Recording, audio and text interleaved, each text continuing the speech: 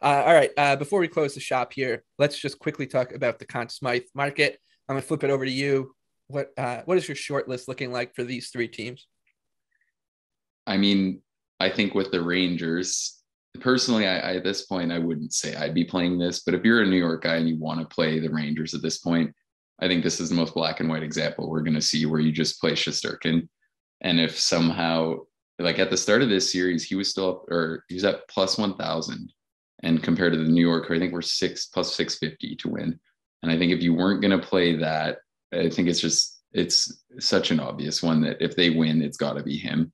Even, and if he goes out somehow, I don't think they're winning. So it's just, there's almost no way where I can see it going. So I think that's an obvious one if you wanted to get in on New York.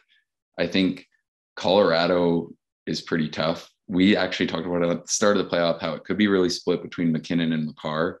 And I think right now, obviously, Makar is leading him, but it's still at the point where I think it'd be hard to differentiate which guy could come out of it in the cup final.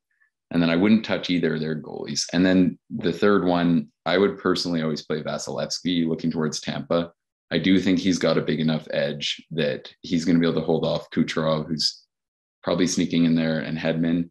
And especially the way the next two games, I think in this series, two or three games versus New York can go, they'll probably boost his numbers even more. It could be kind of close those final two games versus Toronto and Florida. And I do think he's kind of already the front runner there. So if I were to get in on Tampa right now, I think the way to play them would definitely be to back Vasilevskiy to win the Conn Smythe. Yeah, I'm with you there. Uh, I do think if if I had to pick a Colorado player, it would be Makar.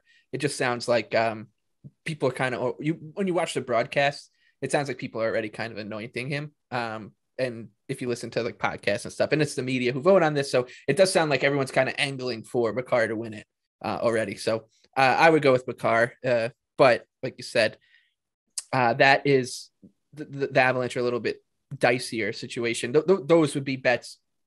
I'd wait to see what the matchups like, and maybe you can get a little bit of a better number on on uh, Makar or MacKinnon going into it. And you know, if, if if you wanted to like get really really sneaky, the one long shot who and he won't win and he's going to be triple digits. He should be like 150 to 1 at this point um that i maybe would target and like have a little sprinkle on his corey perry because he's near the i think he's at the top uh in terms of goals. I think kucherov just caught him uh for the lightning. He's at five.